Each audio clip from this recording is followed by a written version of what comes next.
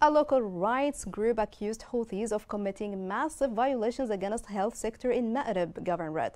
This report has more details.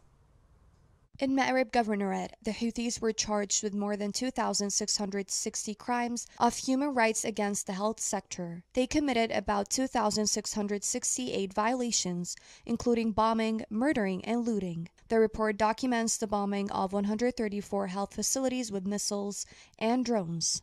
Health facilities in the districts of Al Medina, Harib, and Sirwah were targeted more than once, and this resulted in the destruction of 16 public and private facilities, as well as the partial destruction of 34 other facilities and healthcare centers. The report also included the killing of 53 healthcare workers, including doctors, nurses, and assistants, in addition to 86 health workers who were also injured as a result of Houthi attacks. According to the report, the Houthis intentionally targeted health squads and and ambulance crews as they attempted to rescue victims from shelling of neighborhoods and civilian infrastructure. Furthermore, Houthis occupied 18 medical facilities and turned them into military headquarters. In addition, Houthis looted 12 health facilities and arrested 17 health workers. The militias also hampered the work of UN health agencies based in Sana'a. They stopped these organizations from intervening to help citizens and refugees in Ma'rib. The majority of Yemenis lack access to health care due to the destruction of health facilities in their areas or a lack of financial resources. Any new health crisis adds to the already overburdened and undercapacity healthcare system. Almost every health facility in Yemen got destroyed due to the fighting. Since the start of the civil war in 2015, Yemen's healthcare system has completely collapsed.